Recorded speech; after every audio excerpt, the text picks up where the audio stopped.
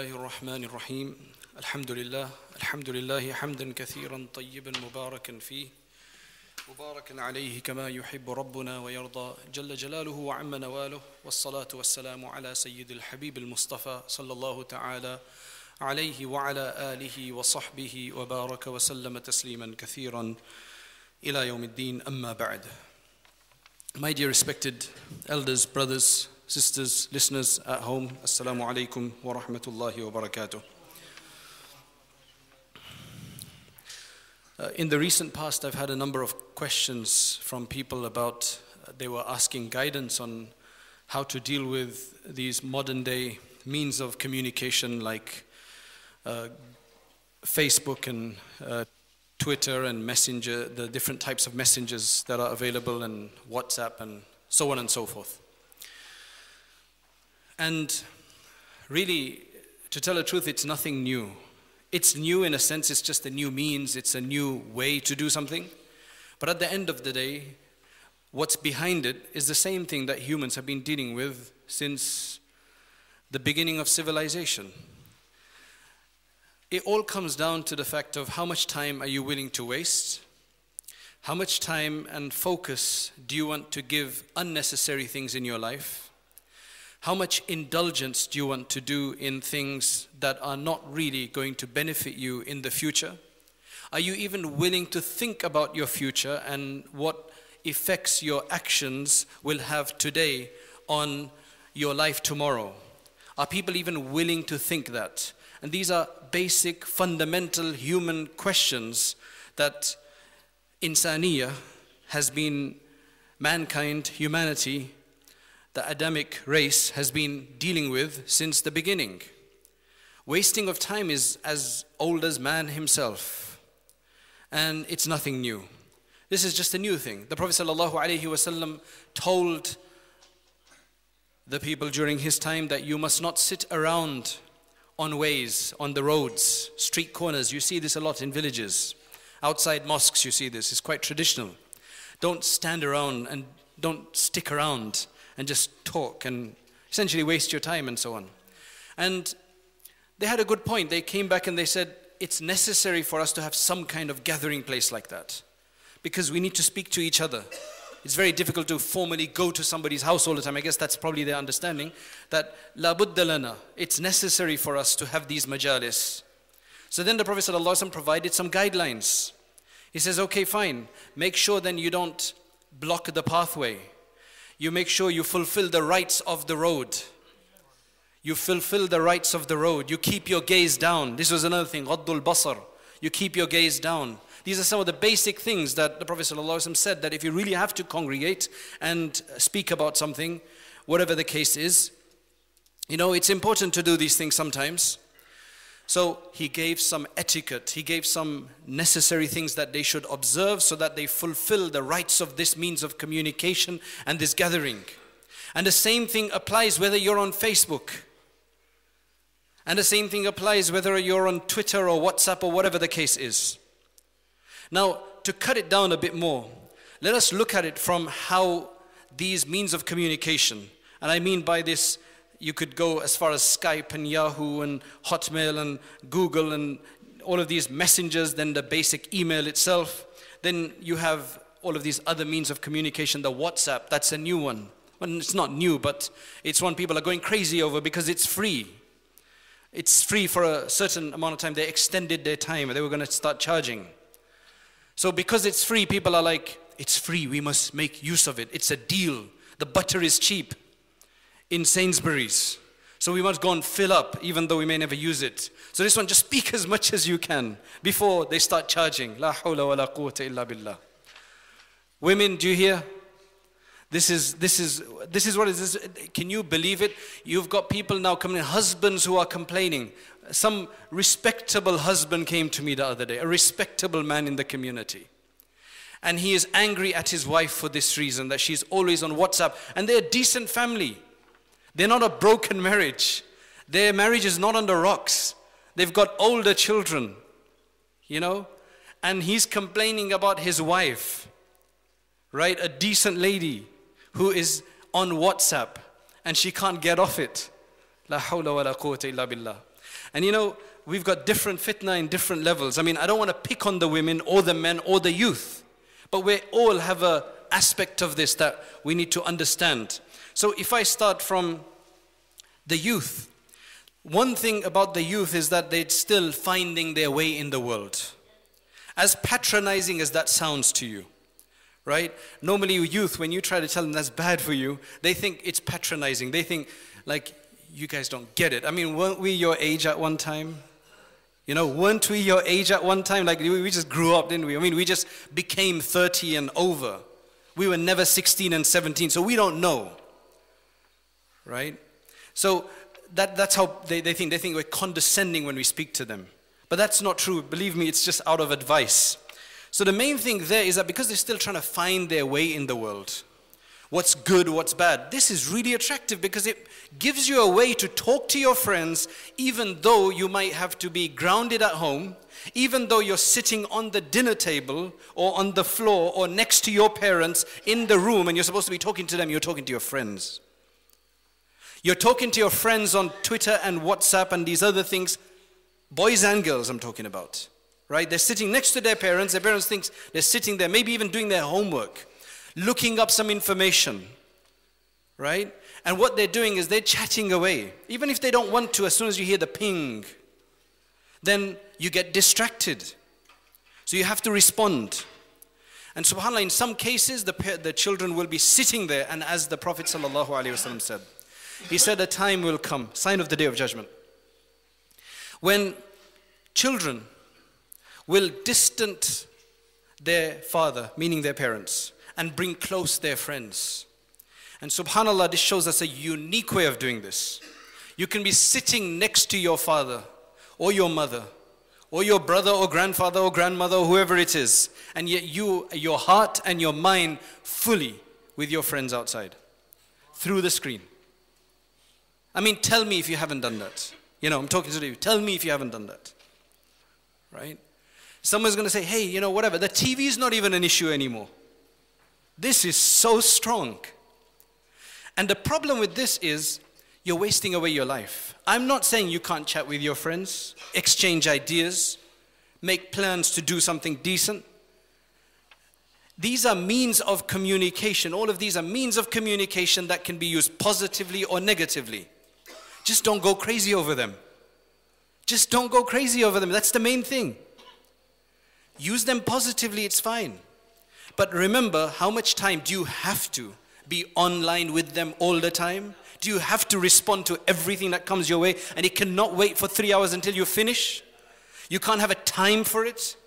See, normally, when you had to go out to meet your friends, then obviously it takes a physical exertion to go out a certain number of times. There's weather conditions, there are places you have to be. There were a lot of restrictions when you had to physically go and visit your friends. Whether you're a youth or you're a, a woman in the daytime wanting to go out and talk to her friends, or a man for that matter. Then it became easier with the phone, but still it cost money. Then you had the free minutes. And so, I, I, I really can't get it. I mean, I have a certain number of minutes, but I hardly ever run out. And believe me, I'm not a person who doesn't speak on the phone. I mean, I, I have to speak on the phone because many people want you to speak on the phone. But I get calls from people for questions and other things. And their minutes run out. They're calling and then suddenly the phone goes and I was like, what's wrong with you? Like, are you gossiping so much that you don't even have minutes left that when you want to ask a fiqhi question, your minutes run out? Right? I've had people say, can you please call me? I've got a question to ask you. I'm like, okay, no problem, but why? Right? Because their minutes run out. Then it costs too much. It's just ridiculous It's just not managing our time and our resources. And then we're saying this country is in recession. Believe me, we have a hundred times better than many countries in the world. A hundred times. Here, I mean, just to give you an example, you go out, everybody is riding a bike, has got a decent bike. You go to a third world country somewhere, everybody's riding a messed up bike, old, 10 years old, 15 years old. Who rides a 10 year old bike today? Right? Cars, the same thing. Who's got a car here that's older than 10 years old? And then we're saying we're in recession, we've got problems. I mean, come on. Right? It's just they want you to spend more. That's the recession that you won't spend as much. You'll start using your articles for longer. That's the issue.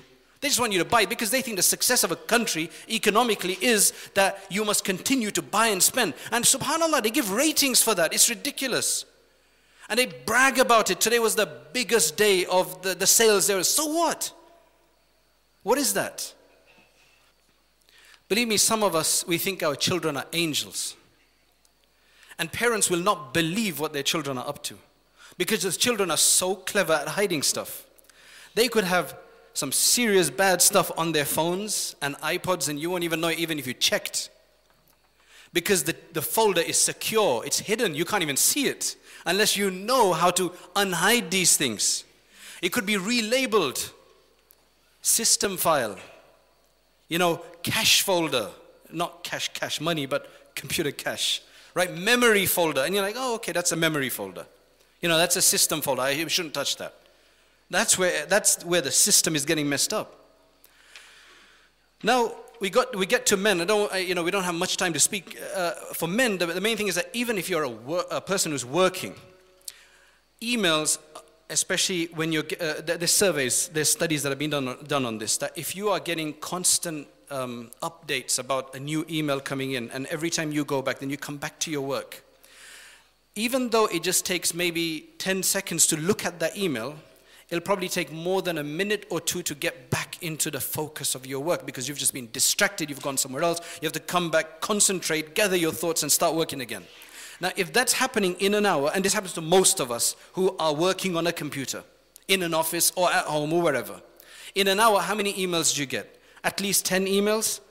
That is 10 times at least two or th- three right? That's, you, you spoiled so many minutes. You're less productive. Sheikh Zakaria Kandhlawi rahmatullahi alayhi, Sheikh al is the author of numerous books. Just one thing that I will, I, I hope I can do one day in my life. He had a time in the day, I think it was from a certain time in the morning to 11 o'clock, where he would go upstairs and that would be his time of writing. There was absolutely no distractions, no phone, no letters, no meeting, nothing.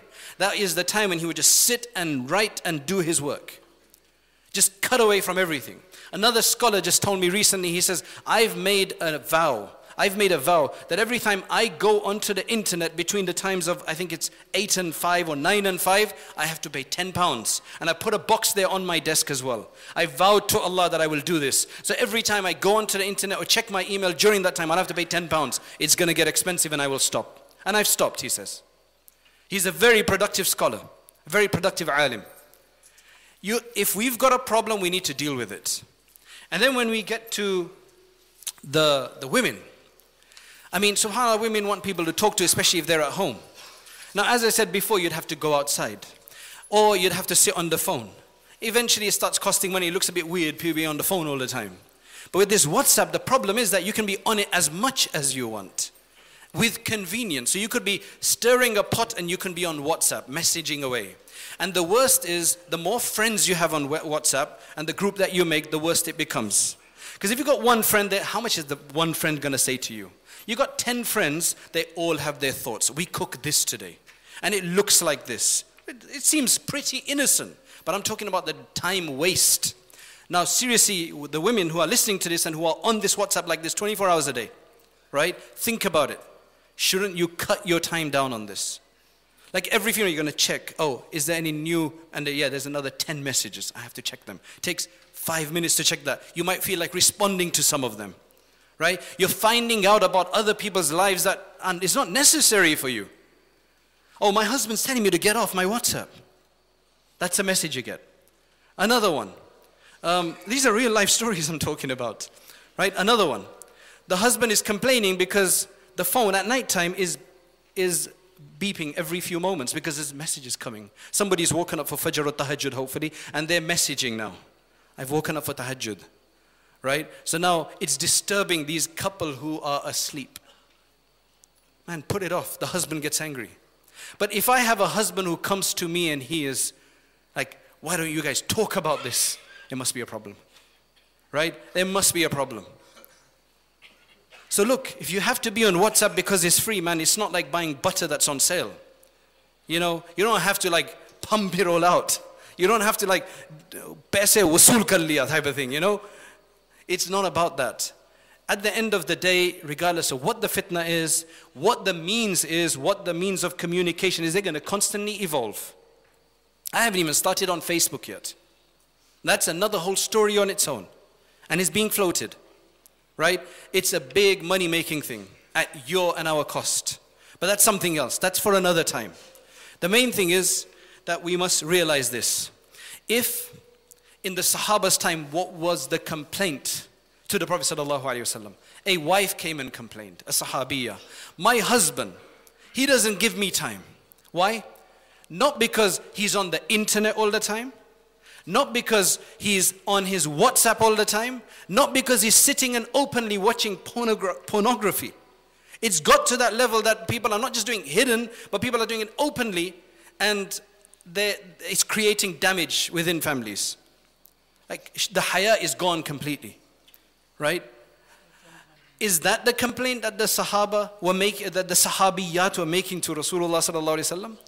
We've come to a level where men are complaining of their wives that they are not doing their household chores. They don't give us time because they're constantly on that thing. I'll do it. And the women, it's not like they are doing this in a mischievous way. They just they can't help it.